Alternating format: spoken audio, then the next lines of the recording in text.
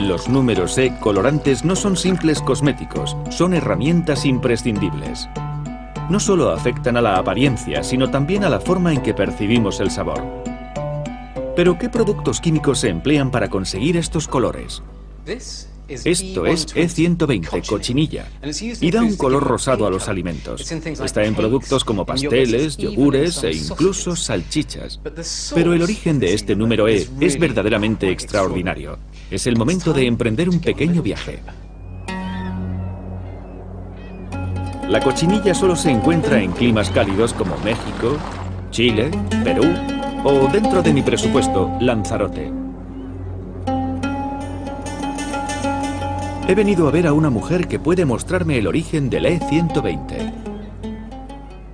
Cuando sepan de dónde sale, tal vez sientan una cierta repugnancia, pero a mí me resulta fascinante.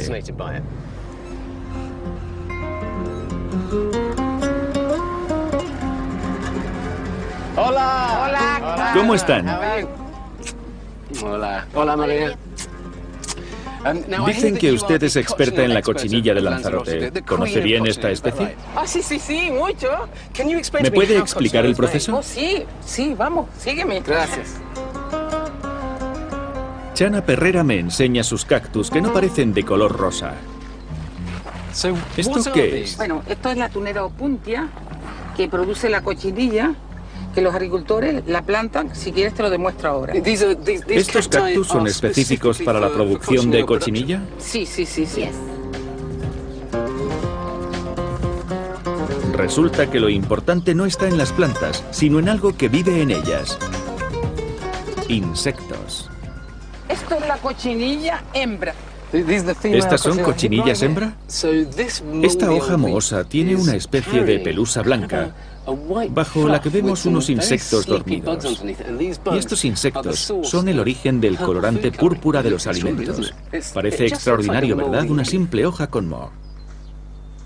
Las cochinillas son muy pequeñas, apenas miden 5 milímetros, pero lo importante está dentro de ellas. Vaya, así que es sangre. La cochinilla es uno de los pocos insectos que producen ácido carmínico rojo en su cuerpo. Lo hacen para que otros insectos no las coman, pero este ácido sirve para fabricar el E120 que vemos en las guindas de las tartas.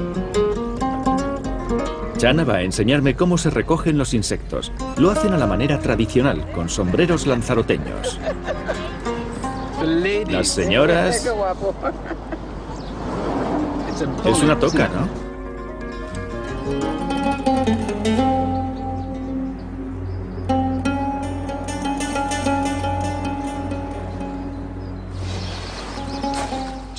Hace mucho calor, pero me protege este bonito sombrero. Una vez recogidos los insectos, se les deja secar en grandes bandejas de madera. Chana canta una canción tradicional. Saquitos de chorizo que mi abuelo me decía, hay que llenarlos bien y matar bien la cochinilla para que el carmín salga muy frondoso. Pero no es la canción la que las mata, sino el sol. Después se criban los insectos para ah, eliminar impurezas. ¡Contratado! Hasta aquí la parte agrícola del proceso. Para obtener el aditivo alimentario E120 necesitamos un poco de química. El paso siguiente es llevar los insectos muertos a un laboratorio local. ¿Cómo se obtiene el pigmento a partir de los insectos muertos? Y la molemos de esta manera. Moler bien la cochinilla. ¿Puedo hacerlo yo? Ok. Está duro, ¿eh? Sí, va saliendo el color púrpura. ¿Qué tal? ¿Está bien? Sí. Ok. Hervimos unos 250 insectos machacados y después filtramos la solución. Mira qué rojo. Y son como los pozos del café. Tenemos una solución de cochinilla fuertemente coloreada. El ácido carmínico es el pigmento puro, pero para mantener el color se añaden sales de aluminio y calcio.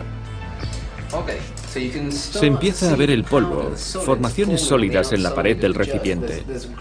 Ahora ya se forman granos más duros y gruesos y terrones más grandes que antes.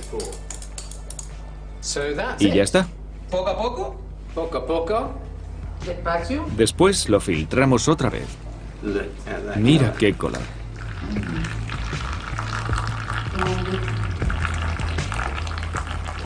Bueno, ya está. Esto es el carmín. Eso es. Fíjense. Si encuentran la palabra cochinilla o carmín o E120 en la lista de ingredientes de algún alimento, esto es lo que van a comer. Y de aquí es de donde procede.